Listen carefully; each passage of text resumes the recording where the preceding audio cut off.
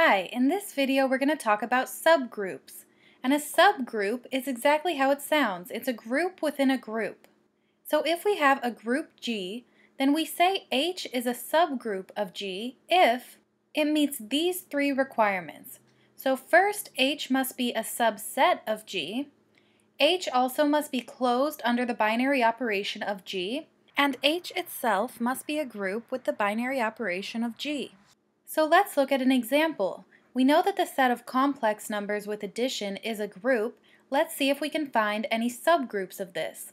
So first, in order to be a subgroup, we need it to be a subset. So we know that the real numbers is a subset of the complex numbers. We also know that the set of real numbers are closed under addition.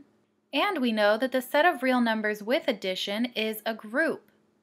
So this group satisfies all three requirements and we'll say that the set of real numbers is a subgroup we'll say the set of real numbers with addition is a subgroup of the complex numbers. And that's what this means here. It means that it's a subgroup.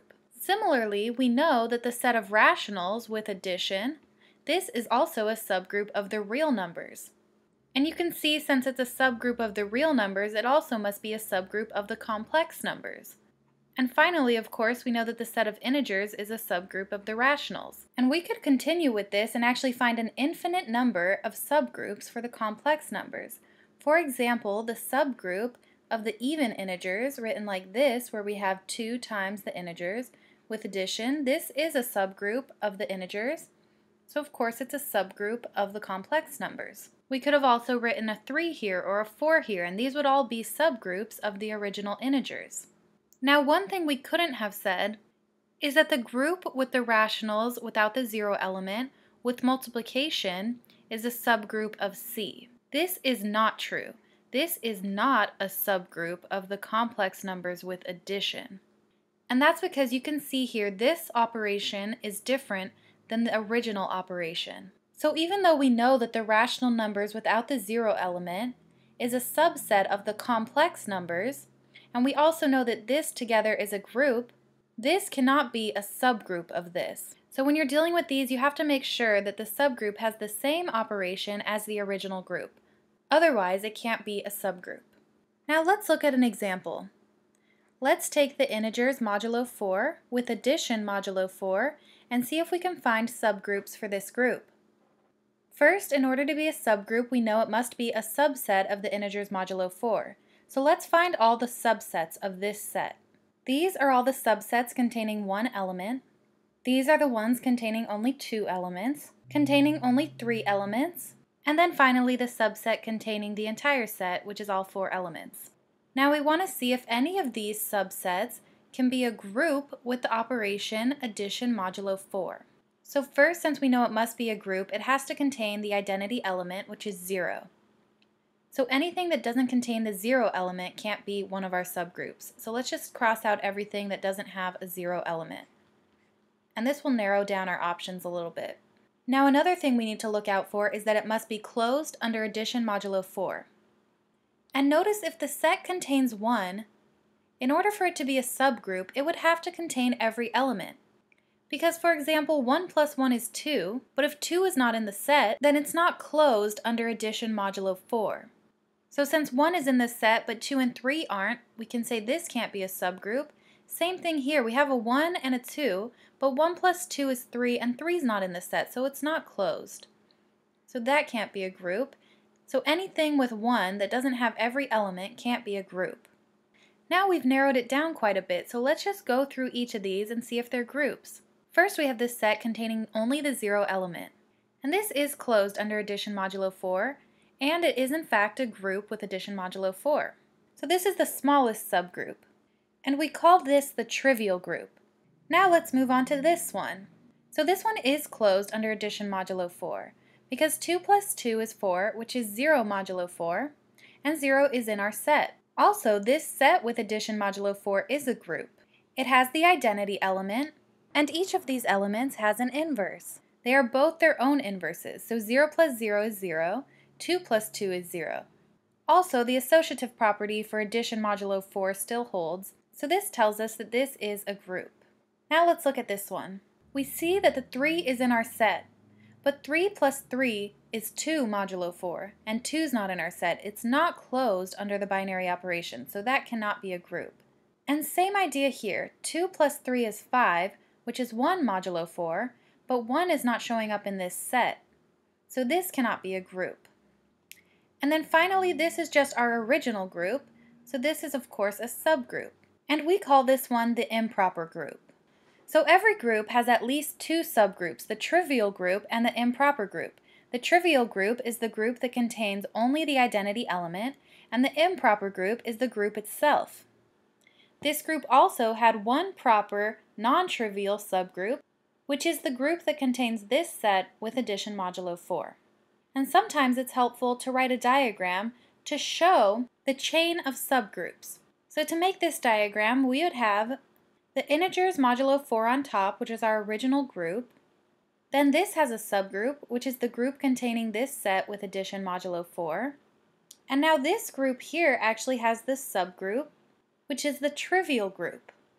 So we can say that this one is a subgroup to this group, and this one is a subgroup to this group, and that tells us that this bottom one is a subgroup, of course, to this top one. So these subgroup diagrams really help us to show the chain of subgroups from our original group. Let's look at another example. In this example, we'll look at the set of integers modulo 2 crossed with itself with addition, where this addition operation is defined like this, where we have the element a comma b plus the element c comma d equaling the element a plus c comma b plus d. And this group is also known as the Klein 4 group. So let's see if we can find any subgroups to this group. And before we do that, let's remember what this set of the integers modulo 2 crossed with itself is actually equal to. So this is the set containing these four elements. And we know that this one here is the identity element of our group. Now automatically we know that this group has two subgroups. We know that the group containing only the identity element with addition is a subgroup, it's the trivial group. And we also know the group itself is a subgroup called the improper group. Now let's see if we can find any non-trivial proper subgroups. Okay, so first things first, it needs to be a subset. The only subset containing one element that can be a subgroup is this one here. Because if it had just only one of these elements, it wouldn't have the identity element, so it couldn't be a group. Next, let's see if we can find a subgroup that contains the set of two elements. So we know that one of those elements has to be the identity element. Now let's try it with this element and see if that gives us a subgroup. So it's definitely a subset. It's also closed under the binary operation of this addition. Because if we have this 0, comma 1 added with itself, that would just give us the 0, comma 0. So it is closed under this operation. And this with addition is also a group. Each of these elements are its own inverse, it has the identity element, and of course the addition operation is always associative. So this one is a subgroup. Now let's try and see if we have the identity element with the other element being 1 comma 0. Again, this is a subset, of course, and again it's closed under the binary operation because this added with itself would give us 0, 0. Each one of these are again its own inverse, and the addition operation is associative, so we get that this is itself a subgroup. And then finally, let's look at the subset containing the identity element and the element 1, comma 1.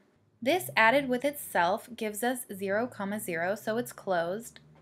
And each of these are its own inverses, so again, we have found another subgroup. And these are the only subgroups that we can find containing two elements. Now let's see if we can find a subgroup containing three elements. We know that one of the elements must be the identity element, so we'll have this element here. Now let's say we wanted to include these two elements. If we included these two elements though, and added them with each other, we would get the element 1 comma 1.